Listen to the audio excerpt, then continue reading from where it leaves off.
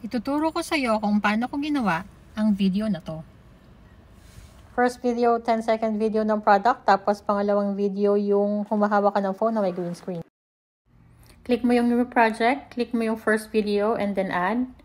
Second video and then add. Click mo yung second video. Hanapin mo yung overlay. I-click drag mo para mapantay sa first video. Tapos, click remove background. And then chrome key. Tapos, click mo yung green screen para mag-appear yung product. Tapos, sunod, kumuha lang ako ng screenshot nung first video. Tapos, tinanggal ko yung background. So, i-click and add ulit natin to. So, i-click mo yung screenshot photo. Ayan.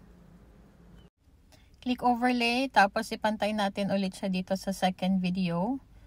Yan. Dapat magkalapat ng maayos para hindi halata na dalawa yung nandyan.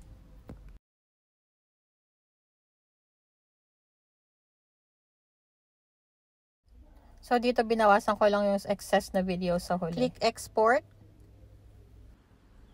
Pag na-save na, balik sa CapCut. Tapos, click new project. Click mo yung video na ginawa mo. Tapos, um, click duplicate. Tapos, hanapin ang reverse. So, nilagyan ko lang ng audio. Ito na yung final video.